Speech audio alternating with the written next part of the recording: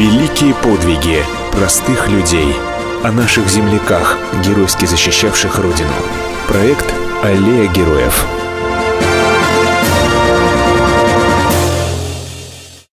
Мильченко Семен Калинович, командир стрелковой роты. До войны его семья проживала в Биробиджане. 20 сентября 1943 года преодолел реку Днепр.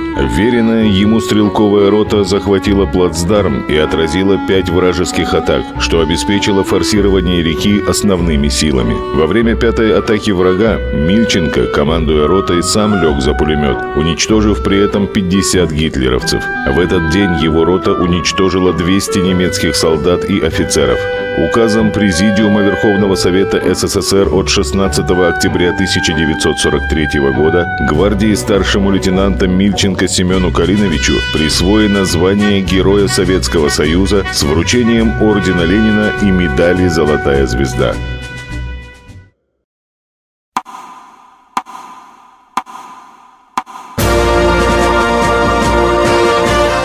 Великие подвиги простых людей. О наших земляках, геройски защищавших Родину. Проект «Аллея героев».